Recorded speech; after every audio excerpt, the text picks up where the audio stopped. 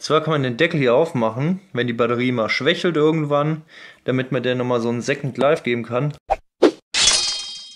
Hallo und herzlich willkommen zu einem neuen Video auf meinem Kanal. Ich bin der Noggen und heute geht's weiter mit dem Photovoltaikprojekt. Batterien. Ich wollte ja mal meinen Batteriespeicher erweitern bzw. verbessern, ja, mit neuen Batterien ausstatten und äh, ich bin nach langem Hin und Her in Photovoltaikforen auf die Firma Active aufmerksam geworden. Ja, kannte ich bis dato auch noch nicht, äh, wurde aber doch hier und da öfters mal erwähnt, von wegen, dass Leute Versorgungsbatterien von der Firma Active haben. Und ich hatte dann einfach mal mit dem Batteriekonfigurator ein bisschen rumgespielt und bin dann im Endeffekt auf die DC115S gestoßen. Das ist eine AGM-Batterie, also Versorgungsbatterie ist äh, zyklenfest, ja, ist ja wichtig für Photovoltaikanlagen.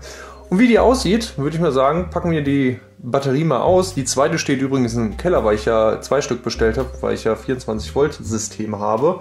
Wir werden jetzt diese mal anpacken und uns einfach gemeinsam mal anschauen. So, hier sieht man schon mal ein Feature, das hier ein eingebautes Display und Tageszähler ist. Also man sieht direkt mit einem Klick praktisch, wie alt die Batterie ist. Was auch noch äh, schön zu sagen ist, es sind äh, Schrauben plus Unterlegscheiben und Federringe sind im Lieferumfang dabei. Und ich muss dazu sagen, das Paket ist übel schwer. Das sind, eine Batterie wiegt ungefähr 30 Kilo. Aber dafür habe ich ja auch genug Speicher im Endeffekt dann. So, da haben wir also den Brocken. Also ist ganz schön groß übrigens. so, hier haben wir den kleinen, äh, das kleine Display. Wenn man jetzt mal hier äh, drauf drückt, sieht man, 0 Tage, Batterie ist noch voll, ist gerade bei 12,97 Volt. Ja, genau, da kann man halt hin und her switchen. Gibt es aber auch nochmal eine Bedienungsanleitung, wo man das alles nachlesen kann. Ja, was haben wir hier noch so zu sehen? Also wir haben einen schönen Tragegriff, der ist bei dem Gewicht immens wichtig. Haben hier, das müssten M8er Gewinde sein. Keine äh, traditionellen, äh, wie man es bei den Starterbatterien hat, Batteriepole, wo man dann noch extra Klemmen kaufen muss. Also kann man direkt mit den Kabeln hier dran gehen. Das ist ziemlich cool, muss ich sagen. So, ja, jetzt ist die Frage, warum, warum habe ich überhaupt ähm, diese Batterie genommen und keine Gelbatterie zum Beispiel? Ja, ähm, habe ich auch tatsächlich nachgelesen. Gelbatterien sind theoretisch, also sind praktischerweise langlebiger, aber AGM-Batterien sind so bisschen, die verzeihen ein bisschen so Ladefehler, sag ich mal. Wenn, wenn man jetzt zum Beispiel mal ein, zwei Tage doch so am untersten Ladepunkt hängt, äh, stirbt dann eine Gelbatterie schneller weg. Also das sind jetzt so Sachen, die ich halt nachgelesen habe, kann ich jetzt leider nicht ausprobieren, weil ich noch nie eine Gelbatterie hatte, muss ich jetzt einfach mal so hinnehmen. Was man aber auch noch hier schön sieht bei der, die haben hier schon mal drauf äh, die Kapazitätsangabe bei welcher Entladecharakteristik und das ist, steht auch nochmal alles in den Datenblättern drin. Muss ich sagen, die haben sehr ausführliche Datenblätter, was ich sehr lobenswert finde, wo man sich dann genau ausrechnen kann, okay, ich entlade jetzt in der Stunde so viele Amperestunden, was für eine Kapazität gibt mir dann im, im Endeffekt die Batterie her. Ist ein wichtiger Faktor, damit man nachher die Batterie dementsprechend dimensionieren kann, mit Berücksichtigung, dass man zum Beispiel in meinem Fall will ich die nur zu 30% entladen, damit ich die maximale Zyklenzahl auf der Lebensdauer her gesehen äh, abrufen kann. Ja, wie gesagt, ich habe mich halt für die 115 Ampere-Stunden Batterie entschieden. Zwei Stück habe ich davon. Und mit meinen Verbrauchern, was ich da jetzt dranhängen habe, ich habe momentan den Flur dranhängen. Schlafzimmer habe ich auch noch dranhängen. Da laden wir dann nachts die Handys drüber, ein bisschen Fernseh gucken und einen Gefrierschrank will ich noch dranhängen. So roundabout bin ich da so ungefähr pro Tag bei 35 Prozent ja, zwischen 30 und 35 Prozent Entladetiefe. Eine Sache habe ich nämlich noch vergessen zu sagen und zwar hier oben, den Deckel kann man nämlich abmachen und da hat sich Active was richtig Cooles ausgedacht. So, hier sieht man es. Verwenden der Nachfüllpacks. Zwar kann man den Deckel hier aufmachen, wenn die Batterie mal schwächelt irgendwann, damit man der nochmal so einen Second Life geben kann, hat man hier nämlich noch so Kanister dabei. Die sind in der Batterie integriert, macht man die Käppchen auf, füllt wieder Wasser praktisch nach und kann so nochmal die Lebensdauer ein bisschen verlängern. Eine echt coole Sache. Ich hatte auch mal spaßeshalber andere Batterienhersteller verglichen, so Vater oder Banner Batterien. Äh, auch teilweise günstige Anbieter, die praktisch hier so 100 Ampere-Stunden roundabout für naja, 80 Euro anbieten und wenn man sich da mal die Bewertung äh, durchliest, dass die Dinger nach einem halben Jahr sterben, habe ich gedacht, gibst du lieber ein bisschen mehr Geld aus, holst dir die und bist dann auf der sicheren Seite. Die hat jetzt knapp 200 Euro gekostet pro Stück, also 400 Euro bei mir in der Summe und ob sich das bewährt macht, die Lebensdauer, ja, dass die mal fünf Jahre plus oder so hält. Das müssen wir halt einfach mal sehen, ja. Ich hoffe es ja mal, ja, dass ich hier gute Qualität gekauft habe. Also ich werde da nochmal dann in ein paar Jahren ein Update-Video dazu bringen. Und wo die installiert wird, kennt ihr ja auch schon. Wir gehen mal runter im Keller, werden die Batterien aufbauen und schauen mal, wie die sich so nach einer Woche ungefähr macht. Ja, ob das passt alles, würde ich mal sagen. Wir gehen mal in den Keller. Ja, willkommen im Keller. Also, ähm, wie ist jetzt hier der Plan? Das sieht wie folgt aus. Also die kommen ja da rein. Das Problem ist nur, ich muss das ein bisschen äh, umgestalten. Und zwar sind die nämlich zu lang. Ich könnte jetzt eine hier hinstellen, dann passt aber die andere hier von der Höhe nicht mehr rein. Wenn ich das Brett jetzt als niedriger mache, genau dasselbe Problem. So, jetzt habe ich mich dazu entschieden, ich werde die genau so nehmen, so da reinstellen. Dann gucken die allerdings hier Stückchen raus. Das Brett hatte ich noch übrig. Das ist cool, das ist nämlich genauso hoch wie praktisch hier unten das Holz. Das werde ich dann einfach hier so hinstellen, damit die Batterie da noch mit drauf steht. Dann habe ich mir überlegt, so schmeiße ich jetzt die ganzen alten raus oder behalte ich sie? Die zwei großen wären eigentlich sinnvoll, wenn ich die nochmal ähm, behalten würde mit an der Anlage. Die Sache ist jetzt nur die, wir haben es ja morgens gerade und die sind eigentlich noch von der Nacht äh, recht leer. Das heißt, kann die schon anschließen, darf aber die Sicherung noch nicht reinmachen, damit die erstmal voll werden und dann erst kann ich die später parallel dazu schalten. Dafür muss ich aber hier auch noch mal ein bisschen was umändern. Ich habe jetzt zwar hier noch äh, zwei frei, allerdings nur bis 16 Ampere. Und ich wollte die gern mit Höhe absichern, damit ich auch mal den Wechselrichter komplett mit 1500 Watt belasten kann. Deswegen habe ich hier nämlich ein D02 Neo Z Element noch mit äh, maximal 63 Ampere. Den werde ich jetzt noch hier vorne reinmachen. Werde die drei Kabel hier auf den Block äh, verteilen, also die zwei hier vorne hier hinten anschließen, dass die zwei rausfliegen. Dann kommt der noch da rein, rückt der ganze Block ein bisschen rüber und dann passt das. Und dann mache ich die vom Wechselrichter auch noch ein bisschen höher. Die war jetzt nur mit 25 Ampere abgesichert. Ja, weil mehr die Batterien einfach nicht hergegeben haben. Und da kommt dann später auch eine 63er rein. Und äh, dann kann ich nämlich den Wechselrichter auch äh, volle Granate belasten. So, das ist so der Plan. Gucken wir mal, auf welche Hindernisse wir noch im Umbau stoßen werden.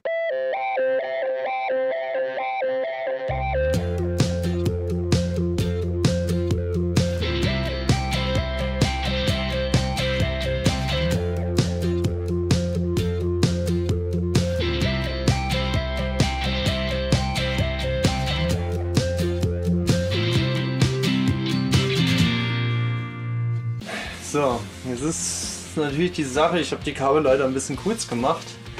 Ich gucke, wie ich hier den Minus hier noch mit der hier verbinde. So, das Display ist natürlich, hallo Kamera, das Display ist natürlich jetzt ein bisschen kontraproduktiv, weil ich ja hier keine Höhe mehr habe, die abzulesen. Aber ich habe mir gedacht, wenn die später mal zusammen sind, kann ich die hier noch an den äh, Schlaufen rausziehen. Können wir ablesen, gut oder nicht gut und dementsprechend dann ja, halt nochmal gucken, ob die Batterie in Ordnung ist oder nicht.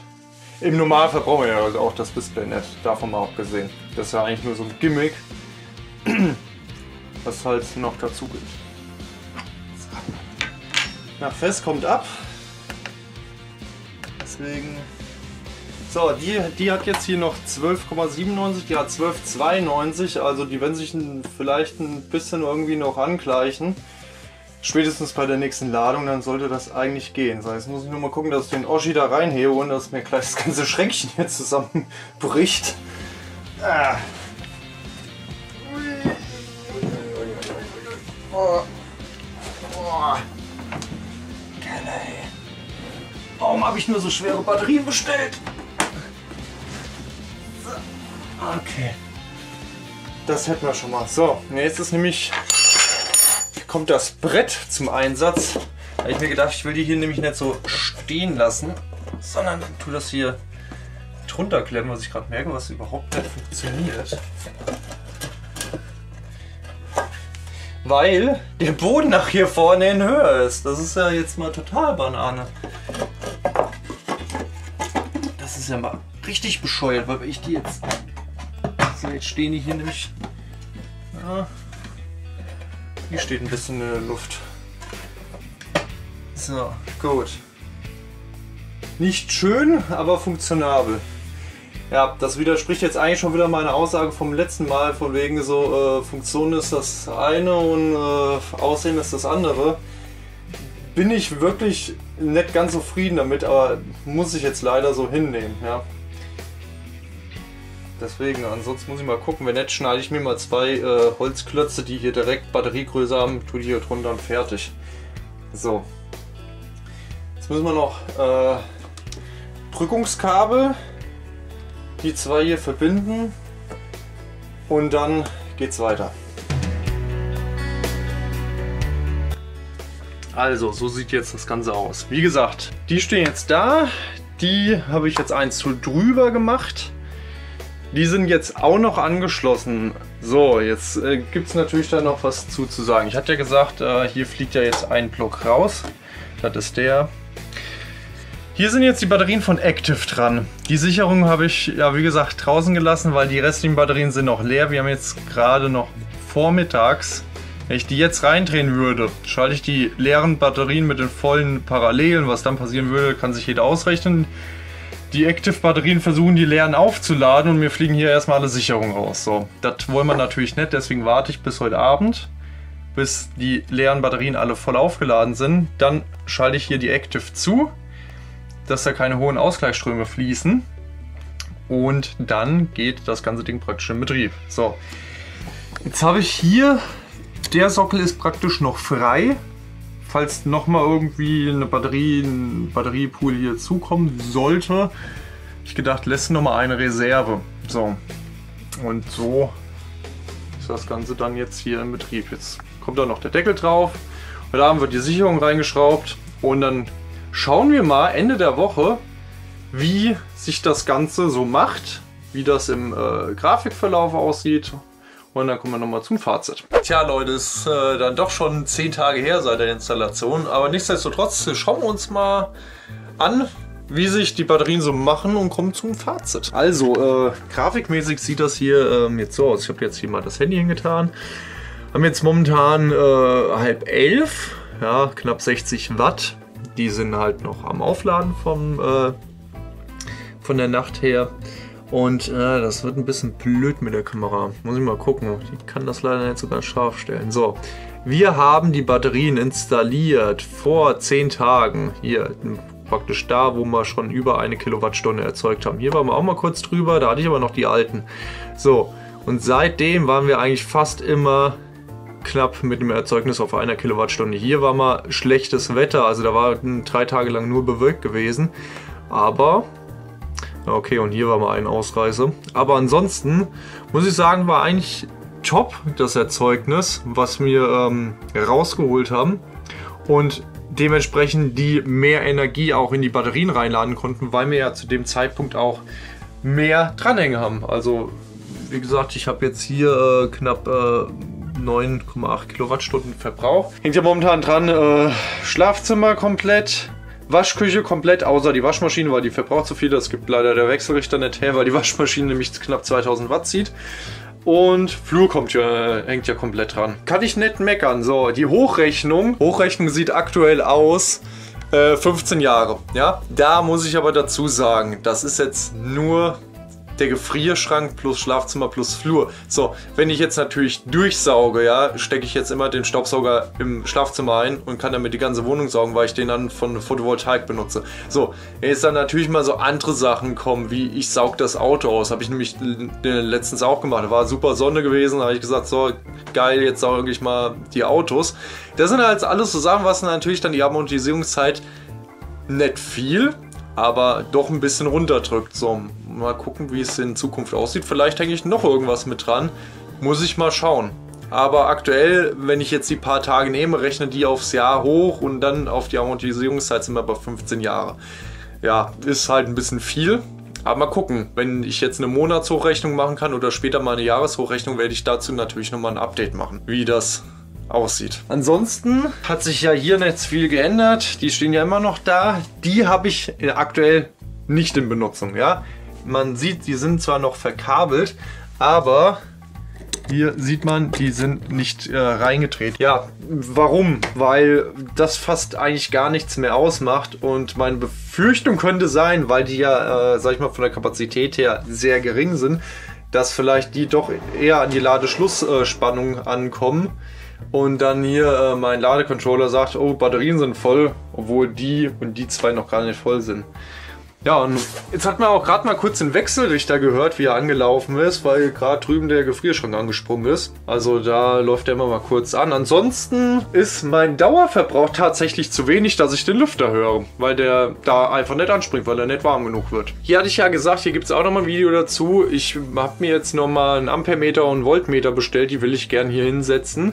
Da kann ich nochmal ein Video dazu machen, wie sich die Anlage so noch ein bisschen verändern wird.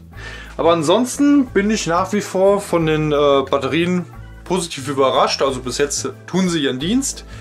Und wir müssen halt, wie schon erwähnt, einfach mal gucken, wie sich das auf die Lebensdauer auswirkt, wie lange ich sie hier im Betrieb halten kann. Ja, ich hoffe, euch hat das Video gefallen mit der Batterieinstallation. Äh, vielleicht regt euch das ja auch an, vielleicht äh, euch was von dem Hersteller oder von einem anderen zu holen. Ist ja jedem seine freie Wahl. Ich freue mich, wenn ihr auch beim nächsten Video wieder dabei seid. Bis dahin, haut rein Leute und ciao.